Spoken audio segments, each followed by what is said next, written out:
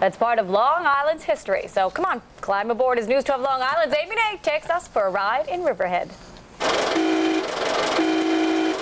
All aboard the G16 miniature train, restored and now open to the public here at the Railroad Museum of Long Island in Riverhead. Order, order.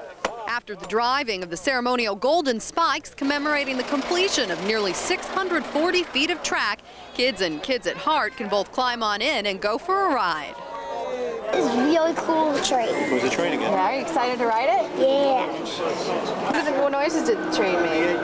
Choo-choo! Daniel Chikijan and his dad were some of the first passengers. This is great for the town. This is absolutely wonderful, and uh, we're definitely going to come back. Not only is this train a whole lot of fun to ride, but it's also a part of Long Island history. The train was originally uh, at the Long Island Railroad exhibit at the 1964-65 World's Fair. After that, it went to Grumman, and they used it for family picnics in Calverton. It, when Grumman left Calverton, it was donated to the village of Patchogue.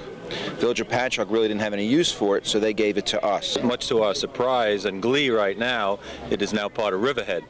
So it joins another piece of, of Grumman uh, memorabilia, the merry-go-round that's out of Greenport.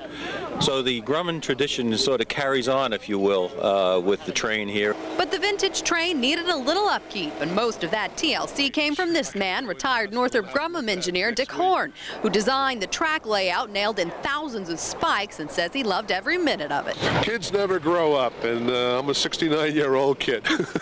In Riverhead, Amy Nay, News 12, Long Island. Hmm, looks like a lot of big kids out there enjoying their, themselves, right? Well, the train is open for the public to ride every Saturday, of course, weather permitting. What do you think there, Drew? Uh, it looks you a great. big kid at heart? Oh, Can I yeah. head Looks like out? a lot of fun. And I remember that train, at- From at Grumman the. Grumman picnic. Every year they used to have that train running. Wow, it's flashbacks. Sure. All right, a lot. thanks, Norm. For Nor